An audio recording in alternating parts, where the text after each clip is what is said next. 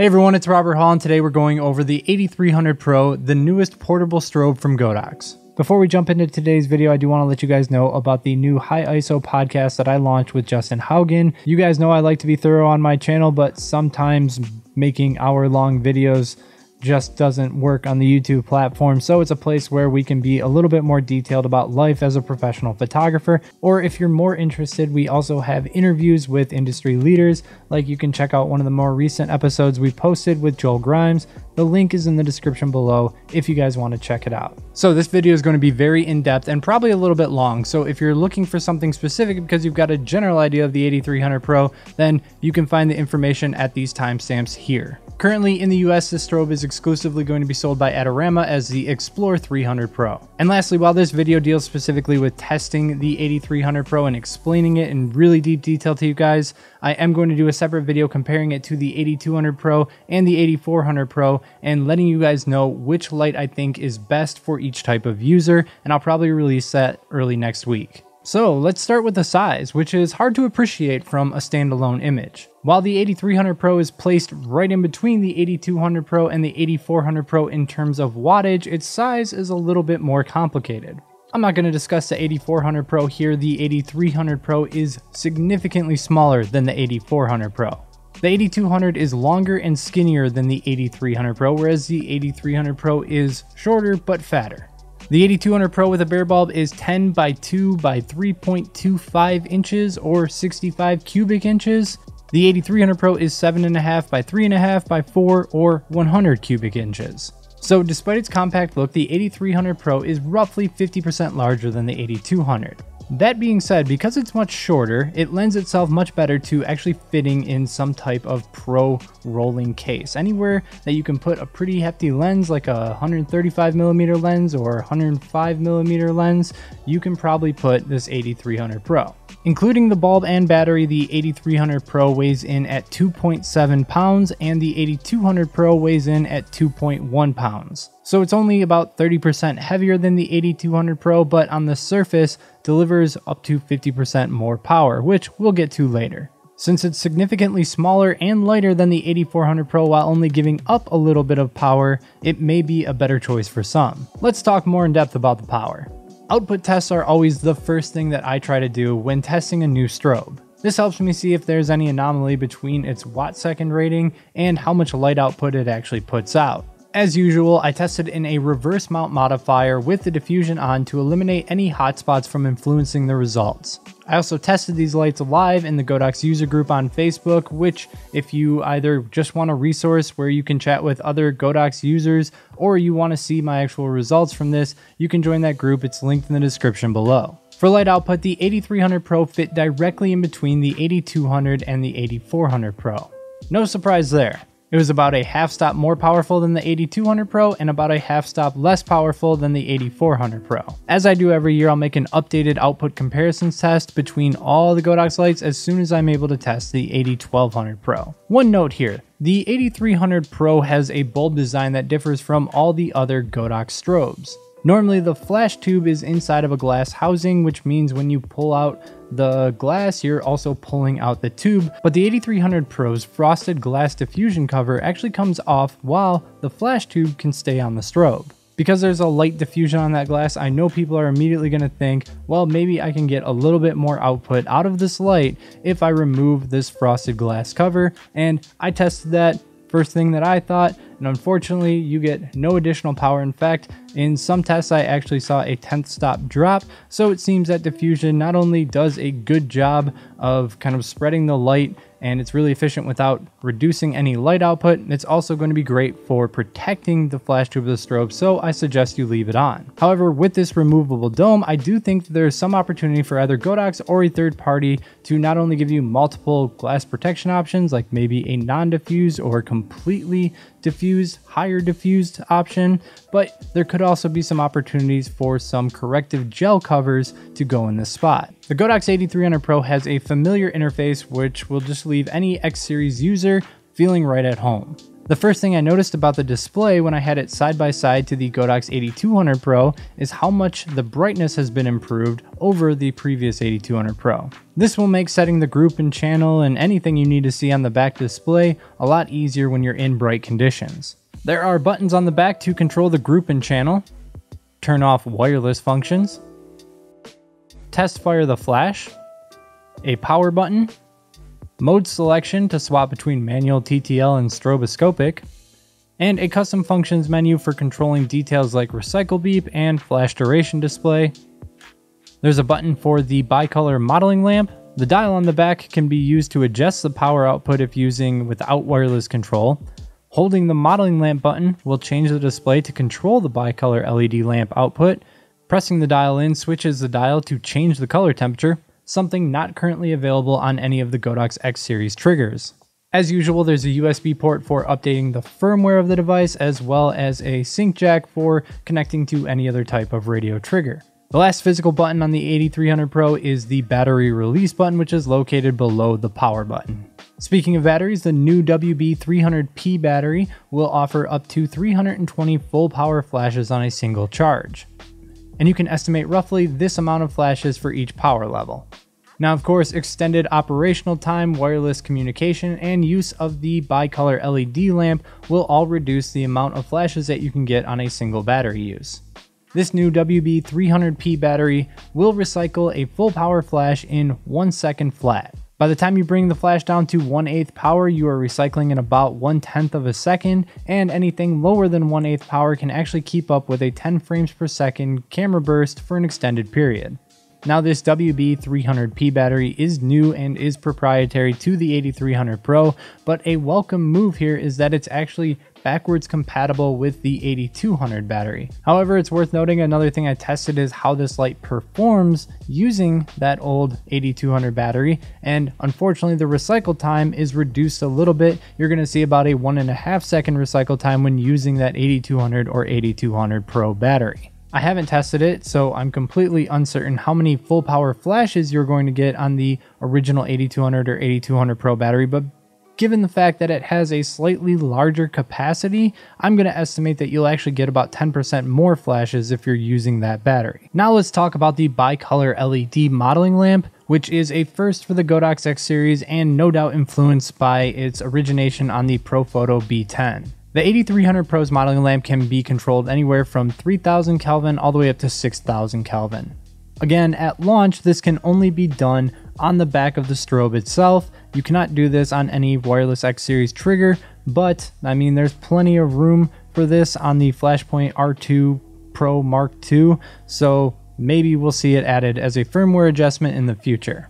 Now, don't get too excited about this as it's only a 12 watt LED, which is very, very dim. In the AD300 Pro stock mini reflector, I metered this at f 2 and 2 tenths of a stop at 1 250th of a second and ISO 400. That means just over f1.0 at ISO 100 at 2 feet in its reflector. In any type of softbox, this is going to be less bright. You start bringing it any further than 2 feet, it's going to be less bright. Many are wondering if this is going to function as a bicolor LED for video use, and I just don't see it. Not only because of its extremely low brightness, but additionally, its fan noise is actually quite loud. Right now I'm about a foot behind the AD300 Pro talking into a lavalier microphone which is positioned normally and the AD300 Pro's fan is at its highest power because the modeling lamp is on its brightest output. At most, I imagine you'll be able to use the LED for maybe close-up detail shots or getting focus in a really dark environment and maybe, if it's really close and a rather small modifier, using for some modeling purposes. I will give some credit to Godox for improving the light quality of this LED in that it has a CRI of 95.4, which means it does a decent job of accurately representing colors. And when I tested with my Sekonic C800 colorimeter, the Kelvin temperatures were extremely accurate to the temperatures that were listed on the back. Sticking with color, let's talk about how that performs in terms of flash. The strobe is equally as accurate as the Godox AD200 Pro when in its stable color mode. This means that it has a Kelvin drift of plus or minus 100k, meaning that from its lowest power to its highest power, it should not move more than 200 degrees Kelvin, and this was consistent in my tests using the Sekonic C800. In my tests, the color temperature ranged from 5900 to the low 6000s. Now, if you turn the stable color mode off, then you're going to double that range of Kelvin values and you're going to see a drift of plus or minus 200K instead. Keep in mind when you turn stable color mode on, you also increase the length of your flash durations. Stable color mode can be turned on or off in the custom functions menu and it's denoted by a C inside a circle. The CRI of the flash is 97.9 and the CCI is 0.1G, so a tiny, tiny bit of green color cast from this flash. In layman's terms, this light is extremely neutral, so extremely white light, and it will render colors really accurately. In high speed sync, however, the color temperature drops to the 5300 Kelvin range with a CRI of 95 and a 0.4 green cast, which is still plenty acceptable. Now, while that's still pretty good, you may find that if you have this inside of a softbox, especially a white one, with diffusion, then the AD300 Pro in high-speed sync might render subjects a little bit overly warm with a daylight or cloudy environment. Next up, T.1 flash durations. If you turn it on in the custom functions, the AD300 Pro will display T.1 flash durations on the back display, which is similar with all the other Godox X series products. T.1 flash duration measures the amount of time that it takes for a flash to go from its peak brightness, 100% brightness, all the way down to 10% of its peak brightness. And it's a very useful figure for determining how well a flash is going to freeze any motion at whatever power level you choose. Like shutter speeds, because these are fractions, as the second number in the fraction increases, that means the time is actually getting shorter and therefore better at freezing motion.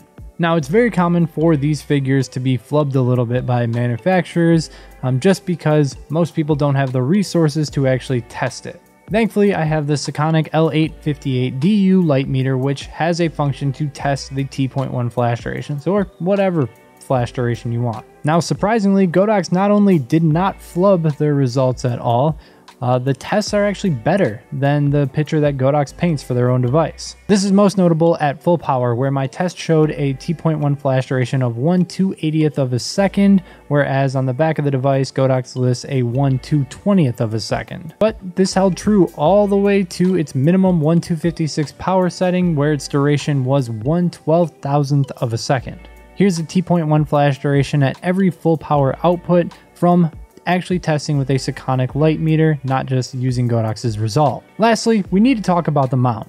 Historically, Godox has surrounded their lineup around the Bowens mount. All their AC strobes, the AD600, the AD600 Pro, all have a Bowens mount, the AD400 Pro. While it came with a Godox mount natively, there was also a Bowens mount adapter in the box.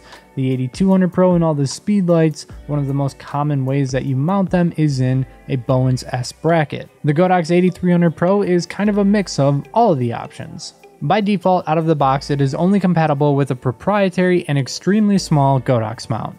Godox is quickly increasing the availability of new Godox mount modifiers such as the wonderfully portable AD-S65 and AD-S85 softboxes, which I made a dedicated video on, and you should check out, especially if you're interested in the AD300 Pro. Now, I received the Godox ADR12, which is a long throw reflector designed specifically for the Godox mount, which will work great on either the AD400 Pro or the AD300 Pro. They have also developed a native grid, gel, and snoot system. Unfortunately, the snoot requires the barn door, which isn't a barn door at all, accessory for it to work, which I would have preferred to see a standalone Godox snoot. That being said, all of these Godox mount modifiers are extremely well optimized for smaller lights such as the AD300 Pro. So if you're really interested in maximizing your portability, then you should keep an eye on the modifiers that are available on the Godox mount because you can get a really small kit going if you're going to commit to just the AD300 or I guess AD400 Pro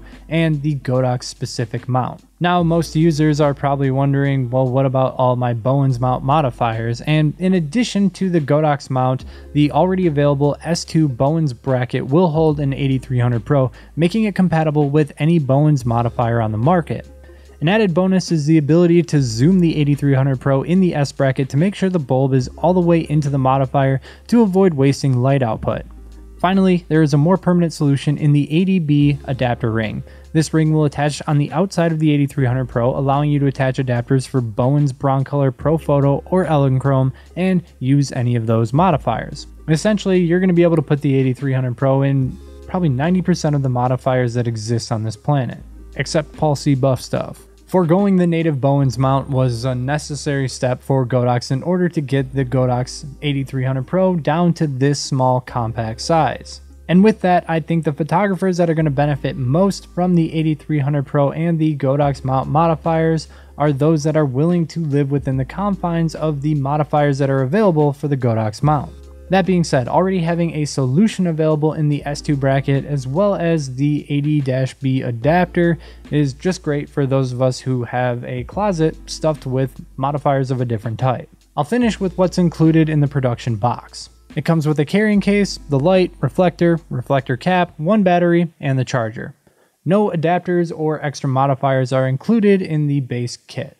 The list price of $500 in the US may seem a lot to some users given the compactness of the AD300 Pro, but I'm personally not surprised at all. It's directly in between the AD200 and AD400 in terms of power, it's in between them in terms of size, and it's in between them in price. It seems perfectly appropriate. Now, I don't make broad generalizations on whether you should or shouldn't buy this light. Godox has an insane amount of options now, and all are worth the money given their really high performance for relatively low price. Selecting the right light Selecting the right light for you is based on your budget, your type of work, your client demands, and the environments that you shoot in. I only hope that the information in this type of video can help you make a decision. You'll find links to the AD300 Pro or Xplor 300 Pro since we're in the US in the description below, as well as links to all of the new modifiers that are being launched for the Godox mount. I'll be on the lookout for any questions that you leave in the comments below. Subscribe if you'd like to see more of my videos, and until next time,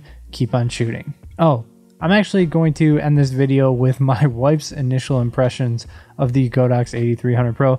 My wife is not a photographer, nor does she ever use flash or lighting equipment, but she did unbox the AD300 Pro and I thought it was funny. There's lots of little bags inside this big bag. Look how cute this little bag is.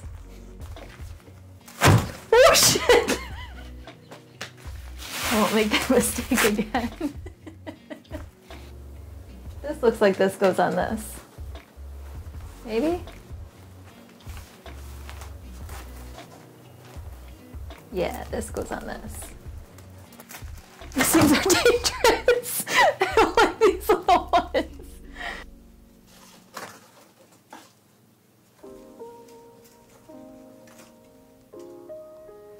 Ooh.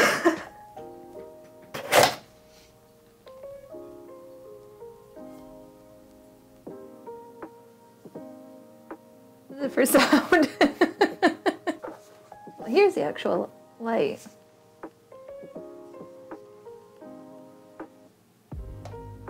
What do you think of the light?